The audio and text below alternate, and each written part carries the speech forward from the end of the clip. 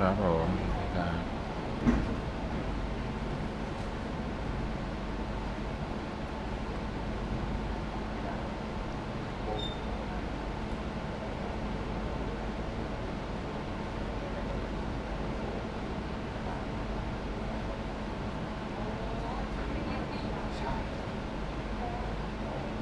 ตั้งภามาจาก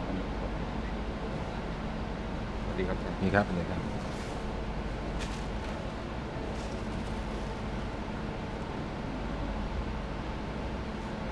ยากกว่าผมเขียนครับผมครับมันเหมือนกับแบบฝั่งนี้ฝั่งแบบดีเฟนต์กับอะไรนะอาจารย์ขอพูดนิดนึงนะคะ ก่อนสองใบครบยังเลยเดี๋ยวอาจารย์จะส่งใบรายชื่อไปแล้วก็ให้คุณเซ็นชื่อนะคะพอดีอาจารย์มันไม่มีโต๊ะข้างหน้าจะไม่ได้ติดไว้ก็คุณก็เซ็นชื่อเองทั้งปีสามด้วยนะคะ เดี๋ยวอาจารย์จะส่งใบ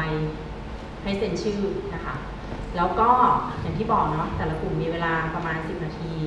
แล้วก็เดี๋ยวคำถามตอบนี่ก็อีก 10 นาทีนะคะ ทีนี้ก่อนที่จะเริ่มอาจารย์ขอพูดเรื่องที่เกิดขึ้นเมื่อวานนิดหนึ่งพอดีว่าอาจารย์ได้รับแจ้งมาว่าเอ่อบริเวณหน้าห้องโปรเจกต์ที่เป็นถังขยะ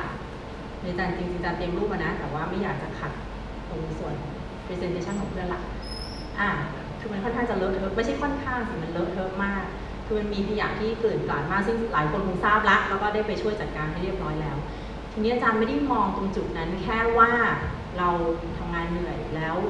เราก็เลยวางของไว้ตรงนั้น โดยคิดว่าเดี๋ยวคงมีคนมาเก็บให้เนาะอันนี้มันเป็นธรรมชาติของมนุษย์อยู่ละส่วนใหญ่ในที่นี้แหละ แต่ทีเนี้ยอาจารย์มองประเด็นเนี้ยเป็นสองเรื่องนะเรื่องแรกคือเรื่องขยะ ก็คือเราควรจะเก็บให้มันเรียบร้อย ถึงแม้ว่ามันจะเต็มหรืออะไรก็ตาม มันสามารถที่จะเก็บใส่ถุงแล้วก็มัดวางไว้ก็ได้ นะคะ ซึ่งมันก็จะดูไม่น่าเกลียดเนาะสภาพเมื่อวานมันดูไม่ดีเลย คือเหมือนกับแก้ววาแล้วอาจจะไม่ใช่พวกเรากลุ่มเดียวเนาะแต่ก็ต้องช่วยกันดูแลนิดนึงเพราะมันอยู่ข้างหน้าห้องนี้มันจะมีเรื่องหนึ่งก็คือว่า ในบางครั้งเนี่ยเรารู้สึกเหมือนกับว่า เวลาเราเหนื่อยในการทำงานหรืออะไรเงี้ยเราลืมคิดไปว่าปัญหาพวกเนี้ยมันมันไม่ใช่ปัญหาของเราจริงเป็นปัญหาของเรานะ เราต้องแก้เองขยะเต็มหาถุงมาใส่ให้ดีที่สุดเท่าที่คุณจะทำได้ นั้นรวมไปถึงกับปัญหาในอนาคตด้วยเวลาคุณมีปัญหาอะไรเกิดขึ้นมาเนี่ยอย่ามองว่าต้องมีคนแก้ปัญหาให้คุณคุณต้องแก้ปัญหาตัวเองก่อน อย่ารอให้ใครมาแก้ปัญหาให้คุณนะอันนี้อาจารย์เตือนไว้นิดนึงเพราะว่าในเรื่องของขยะนี่ยมันค่อนข้างที่จะดูแล้วไม่ดีเลยนะคะเราเป็นนักศึกษาแล้วก็เป็นสถานที่ราชการด้วยนะคะโอเค ทีนี้เเดี๋ยวรออีกสักครู่หนึงนะคะเดี๋ยวขออาจารย์มาเพิ่มอีกหนึ่งท่านก่อนเดี๋ยวจะเริ่มในการสอบนะคะก็เดี๋ยวเรื่องของพรุ่งนี้ ที่อาจารย์ส่งไปล่าสุดอัปเดตแล้วเนาะว่าใครจะจัดนิทรรศการตรงไหนนะคะ ทีนี้มันจะมีอยู่เรื่องหนึ่งก็คือเรื่องของของ stand ตั้งโปสเตอร์นะคะ ประมาณ 10 โมงวันนี้นะคะ พี่ๆเจ้าหน้าที่จะไปรับ stand โปสเตอร์มาตั้งไว้ให้ที่หน้าภาคก่อนนะคะนั่นก็จะเพียงพอสำหรับกลุ่มของ18พันทีนี้ในเย็นวันนี้เราคงจะยังไม่ทำอะไรไม่ได้ ตอนแรกอาจารย์คิดว่าฝ่ายสถานที่ของของคณะน่าจะมาจัดโต๊ะจัดปลั๊กไฟอะไรให้นะคะ แต่อันนี้ไม่แน่ใจเหมือนกันว่าเขาจะมาตัดจัดให้มากน้อยแค่ไหนคุณลองไปดูกันก่อนละกันเนาะว่ามันโอเคหรือเปล่า จะมีอยู่แค่ 8 กลุ่มที่จัดอยู่ด้านด้านล่างของตึกนะคะ ทีนี้ stand เนี่ยก็คุณเย็นเนี่ยคุณสามารถที่จะเอาต่างคนต่างเอาไปใส่โปสเตอร์ของคุณแล้วไปเก็บไว้ในห้อง 501 ใช่ไหมห้องโปรเจกต์คุณ 501ก่อนก็ได้ เพื่อที่พรุ่งนี้เช้าคุณจะได้ยกมาตั้งนะคะ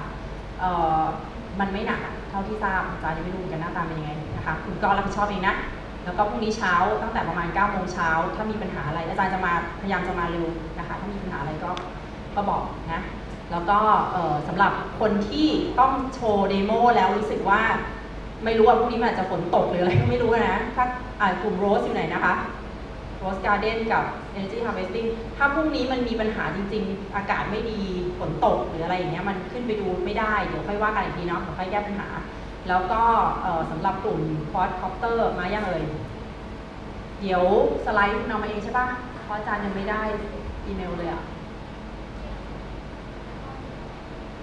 เรื่องอะไรเดี๋ยวเดี๋ยวค่อยว่าก็ได้เอ่อของกลุ่ม Quad Copter เนี่ยพรุ่งนี้ถ้าสมมุติว่ามันแสดงตรงตรงใกล้ๆใต้ถุนตึกได้ก็ก็ทำเนาะถ้ามันไม่ได้จริงๆ ก็เดี๋ยวค่อยว่ากันอีกทีนะคะ จะมีอยู่สามกลุ่มนะที่ต้องขึ้นอยู่กับอากาศค่ะ อาจารย์มาครบแล้วเพราะฉะนั้นเดี๋ยวจะให้เบตภาพเริ่ม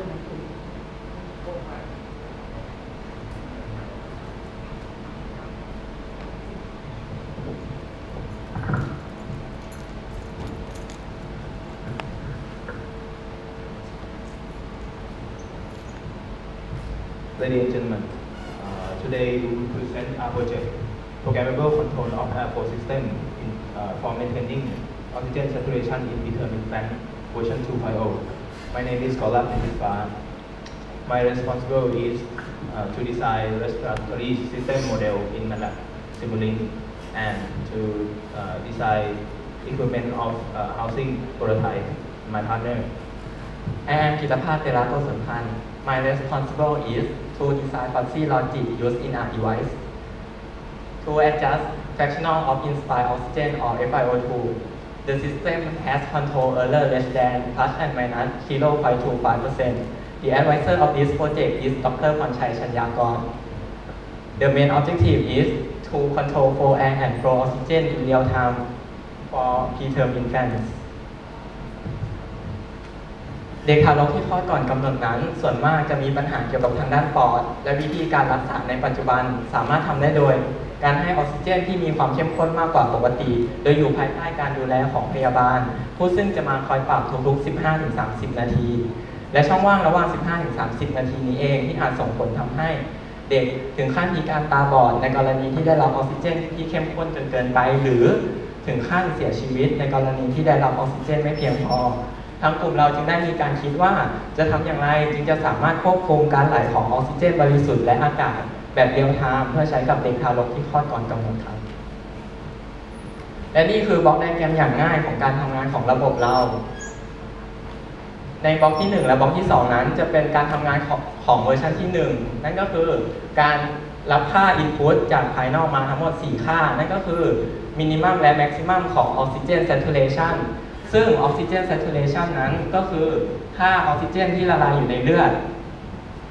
ซึ่ง Minimum และ Maximum นี้มีเอาไว้สำหรับการตีกรอบเอาไว้ให้ Oxygen Saturation ของเด็กทารกนั้นมีค่าไม่เกินหรือไม่ต่ำไปกว่านี้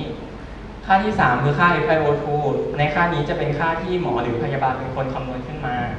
ค่าทีสี่4 เป็นค่า tolerance time นั่นก็คือเวลาในการนับถอยหลังในกรณีที่ oxygen saturation ของเด็กทารกนั้น